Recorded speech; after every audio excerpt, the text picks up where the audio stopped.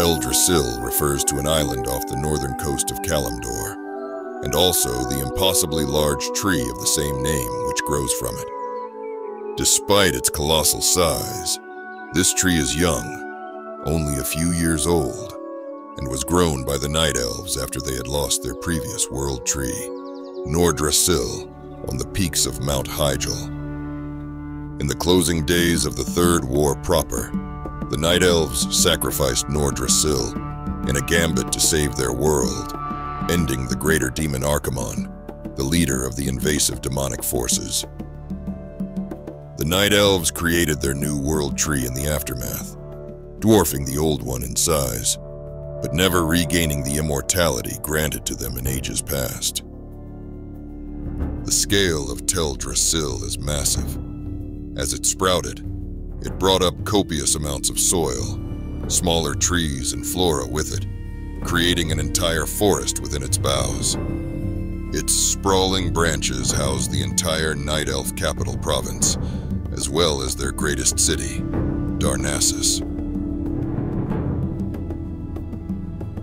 But Darnassus is mostly unoccupied, save for the essential merchants who keep the city functioning, and a great deal of the Night Elf command structure, like the High Priestess Tyrande Whisperwind. The Night Elves would gladly welcome their kind to the city, but find their strength divided across a continent at war, unable to rest their aging bones in this new sanctuary. On the home front, crazed furbolgs and demonically touched beasts have appeared in the shadows of Teldrassil's enormity, occupying all the attention of the forest's guardians to ensure the protection of their new homeland. The Night Elven Society has traditionally been divided between the female sentinels, who acted as warriors and rangers of their forest homes, and the druids, the men who ward the Emerald Dream and could take on the visage of various animals in the corporeal world. However, Third War and the horrors caused by the Burning Legion have ended this tradition.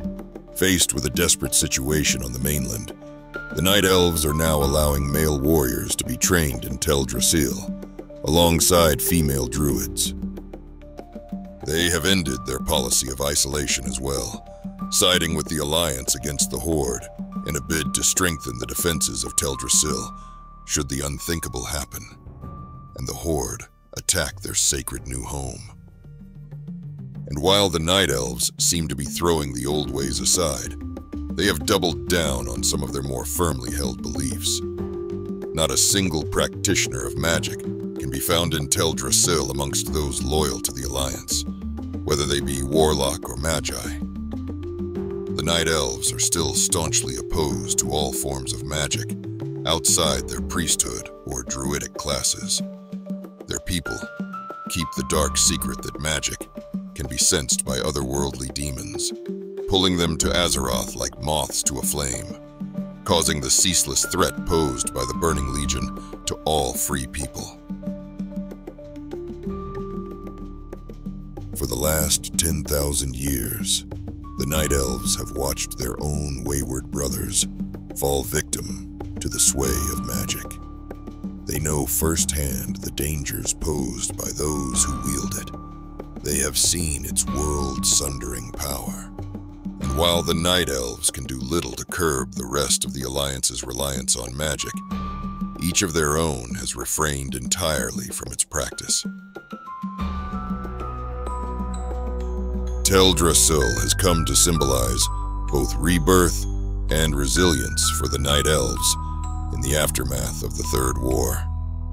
This monumental tree, home to their reformed society and sacred beliefs, stands as a fortress against the evil, which seeks to engulf the world in shadow and consume its very life essence.